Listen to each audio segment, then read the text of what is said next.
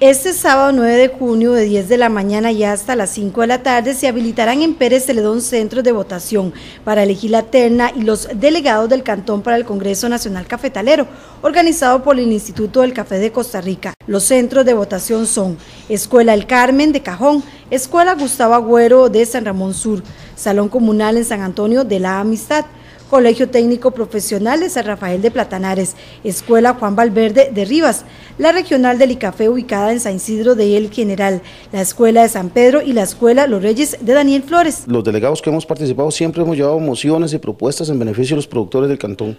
Eh, hay muchas acciones que se han tomado para en beneficio de los productores. Una es el fideicomiso cafetalero de Roya, donde traímos 8 mil millones de 20 mil para siete regiones. O sea, eso, eso tiene un impacto muy fuerte. Entonces yo sí hago el llamado de que no solo para eh, que nos den poner la mano, sino que salir a votar. Hay un comité de reactivación cafetalera trabajando fuerte para poder impulsar una reactivación de la caficultura en Pérez Celón y me parece que definitivamente tenemos que hacer un esfuerzo de salir a votar, a elegir los representantes ante el Congreso Cafetalero y ante la Junta Directiva. Corresponde ya este año ejercer ese derecho y esa obligación que tenemos todos los y las productoras de café para ser representados allá y para, bueno, defender nuestros derechos porque eh, si se hizo una lucha grande para que en el ICAFE hubiéramos mayoría de productores, que a veces eso no se, no se tiene en cuenta o no se valora, lo menos que podemos hacer ahorita es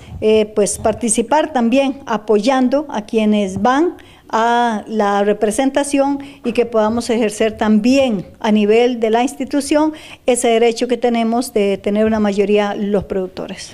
Este año se llevará a cabo un proceso de votación electrónica ¿En qué consiste? Cuando usted llega, presenta su cédula o documento de identidad a los miembros de mesa. Ellos verifican que su nombre aparezca en el padrón electoral. El presidente de mesa le entregará una tarjeta electrónica para votar. De inmediato, diríjase al recinto de votación.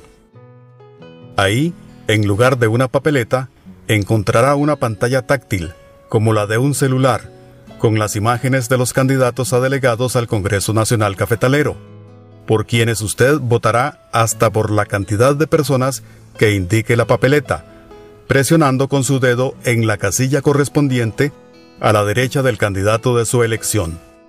Una vez que haya escogido los candidatos a delegados, presione la casilla Votar.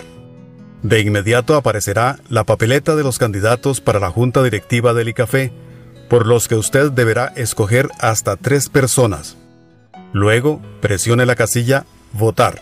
Tanto los representantes de la OPIAP y de Copeagri que conforman las papeletas para este sábado hacen un llamado a los productores. Es muy fácil nada presentar la cédula que en la penúltima cosecha ya hemos entregado y, y, es muy fácil ejecutarlo y podemos votar en cualquiera de las, de las, de las posibilidades de, centros de votación que tenemos. No es que voy a repetir, pero sí, si ando paseando en San Pedro y vivo en un páramo, puedo ejercerlo en San Pedro o, o viceversa y me parece que es una gran oportunidad para que hacernos presentes y apoyar a quienes nos representan como delegados. Por ello le hacemos un llamado a todos los y las productoras. Es un ratito, vayan a su centro de votación, todos los distritos van a ver el centro de votación, ahí estamos eh, anunciando, eh, los aquí van a ver en, en la información de los lugares donde va a haber las votaciones. Solamente tienen que llevar la cédula y está haber entregado café en la cosecha 16 cosecha o cosecha 17.